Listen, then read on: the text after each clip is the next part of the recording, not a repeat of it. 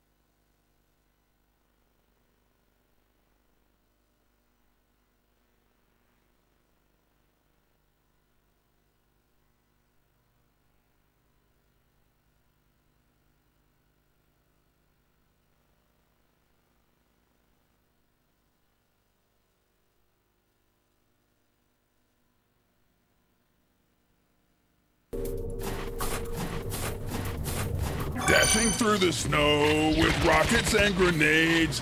Time to blow some holes in an alien's face.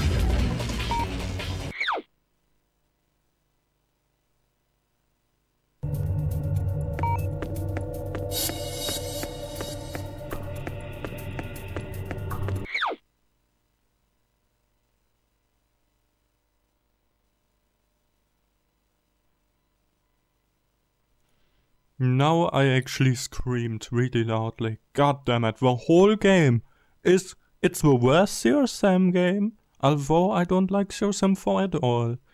It's not even fun. It's still a better game than this game. This game literally is arena after an arena, after an arena, after an arena. By the way, no ammunition gets saved. Which means you get reset to the previous point where the developer specified a certain amount of health and ammo. I'm not sure about weapon selection and how much ammo you have mid-map, but if you restart the map or load into a map, you don't get the ammo from the previous map you have collected, you lose everything and you need to start from scratch. Then also, it's too big, but at the same time the scale is so small that you see nothing. Scale means how big a map is compared to an item. If you have a coffee cup, the question is how many pixels or triangles does the mug have compared to the map's total. So it could be the biggest coffee cup, but also the smallest level, or the smallest coffee cup, but also the biggest map. And here, the whole game is like, on hard difficulty, I wouldn't even get through that shit anymore. Impossible. On medium, you get starved of health. Explosion damage isn't properly working because it's not the Crow engine, but a custom made random engine from the developers who got probably defunct or something after this game, or maybe a few games later, or got bought out by another company. And explosion damage can cancel explosion damage, at least for the cannon. Then also, the rocket launcher does project damage towards you for some reason. Then of course the flying monsters with the fire damage are one hit kill. When you get hit on one difficulty up. And even now it's hard. So you constantly get starved, you have no breathing room with a controller to move from A to B. And lastly, G-Man lives is an idiot. He says the game is good. No. He played it in an emulator. If you play in an emulator, everything you just said in a review is invalid because you played it on a high resolution with mouse and keyboard mod instead of a controller. And secondly, the game isn't still good. It isn't good. Seriously, first encounter, second encounter, goat. It will always be the best. Period. HD changed it so it's more like scalable for multiplayer game. I'm not sure if you can save mid-game, same as the first encounter and second encounter of the originals. Of course mods for both games or series, although the freaking uh, Fusion game is bad. They literally sold it on consoles and it's still unfinished. They had enemy values from CSM 3 in all CSM games because it's the same engine and they couldn't apply patches or modes or mutators, how it would be called in Unreal Engine, for each specific game. So Werewolves turned around without delay. They literally jumped you without uh, them turning. So what I mean is this game is freaking bad. The maps get better, the ideas are good, it has no cohesion, all the maps are so dislocated. Yeah, that's actually a good metaphor, dislocated body. Weapons don't make sense because they don't have hierarchy, but the double barrel shotgun on one or two of the enemies was actually better, so I'm not 100% sure if they have hierarchy. Where certain weapons don't do as much damage as others, depending on the enemy you shoot. But the game in general is so poor. And then the delay, of course, on the capture I'm playing on a CRT, that's why the audio is a little off, because I still need a RCA male to RCA male adapter to put it through my capture card and not through the line in of my PC, as I did the years before the RetroTink, when I only played on a CRT. But with TLDRs, the game is unbalanced. Weapons don't make sense in this game. It's just a different colored mortar pistol, mortar gun. It's so bad. Yeah. Boring rant. The game is fun. It is so much more fun on a CRT because it actually blinds you a little. CRTs just can do with 100 nits what no other tech can do unless it's like maybe plasma. And plasma has the issue that blacks don't work on plasma because the voltage is too low to switch on and off properly for the brightness so grays appear or blacks get like properly scaled. So you have like maybe three types of blacks multiple scales of gray and nothing else. Yeah let's continue. I think i have some energy back. And also all the spawn points. You don't get fooled or like made fun of like in CSM 1 and oh yeah in general CSM 1 CSM 2 on the other end which is the xbox game and pc you kinda get fooled, but not much by going back. CSM 3 probably never, but this game, if it fools you, it's just a bad spawn, because they spawn too near towards you, it's too close. They spawn directly in your face, but I haven't been blown up by Kamikaze yet. Except once, but that was my own fault. Whereas CSM HD, I think even has some issues original CSM 1 doesn't have issues, CSM 3 and 4 arenas can be messed up. 4 especially. 4 is unplayable, CSM 4 is awful. Everyone who said, oh my god, my game is good, never played any CSM game before. Because in that game, you have to stand in the middle where the game spawned the loot, and that's the arena point. You are not allowed to leave it, because if you leave it, at the edge of the map, kamikaze spawn. Inside you with no trigger and boom.